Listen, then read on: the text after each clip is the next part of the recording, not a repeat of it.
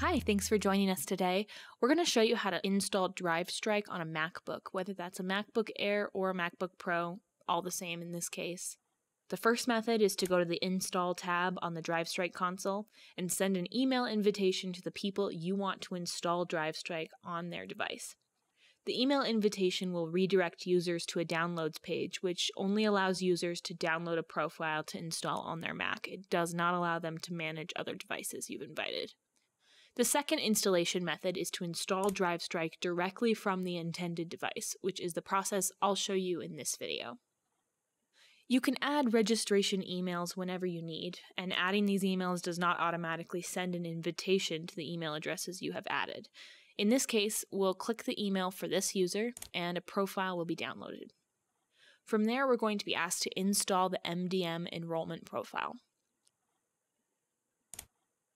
The installation process requires that you have administrative privileges on the device. It's also important to note that if you have administrative privileges on the device, you can uninstall DriveStrike. There's a little trick you can do to make the uninstalling option less obvious for any user. Within System Preferences, go to the View menu, select Customize, and deselect Profiles in order to hide the Profiles menu within the machine.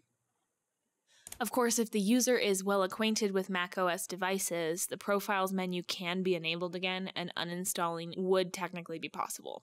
The only way to prevent a user from uninstalling is to deny that user administrative rights on the machine. Once DriveStrike is installed, you can go to the web console and you'll see the MacBook in the dashboard along with its owner's name.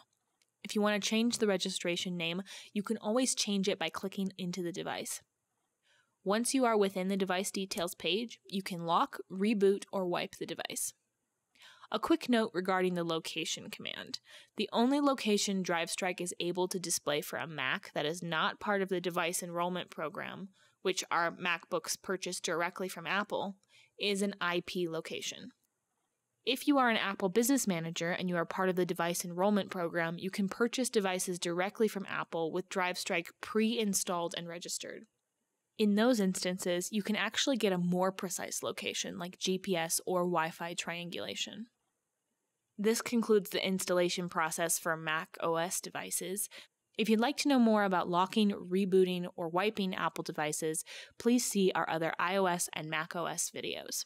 If you have any questions, please feel free to give us a call at 877 375 2468, or you can always send us an email at support at drivestrike.com.